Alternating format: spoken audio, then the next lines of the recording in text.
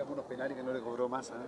Sí, sí, me parece que, que fue habría sido determinante pues, con, con, ese. Cuando, cuando nos ha tocado a nosotros que nos cobren dos penales en contra, no, no ha habido reparo en ese sentido, pero, pero bueno, está así, eh, eh, es, parte, es parte del juego, eh, tal vez es un error no forzado de su parte, pero, pero tenemos que seguir por esta, por, esta senda, este es el camino. Nos costó, nos costó al primer, al primer tiempo, pero, pero el segundo tiempo salimos con todo para, para poder conseguir el empate. ¿Qué sensación queda hoy día, Claudio? siento que nos podemos mirar a la cara entre todos por el esfuerzo que hicimos, eh, por, por, responder a, a, un resultado adverso y, y, que tenemos que seguir confiando en lo que podemos hacer. Ahora tenemos un, un partido en casa, eh, en nuestras mejores condiciones, eh, así que, que, a seguir confiando en el trabajo. ¿no? Gracias, Claudio. Claudio está en vivo para Calama, la línea lo saludamos.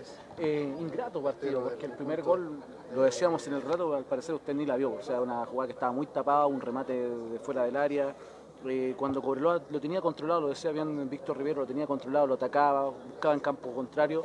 Y se encontró con ese gol que condiciona un poco lo que se venía.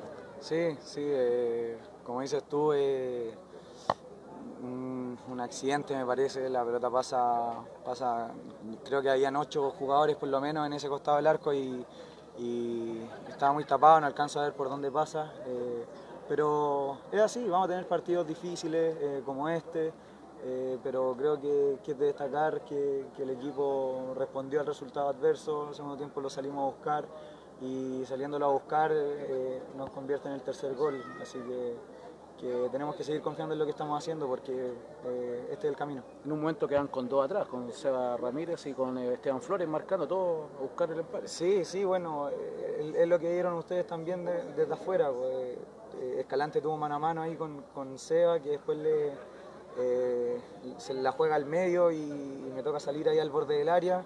Eh, es porque estamos arriesgando, es porque queremos ganar, ganar los partidos, porque trabajamos para eso. Gracias, Claudio. Hasta luego. Claudio González.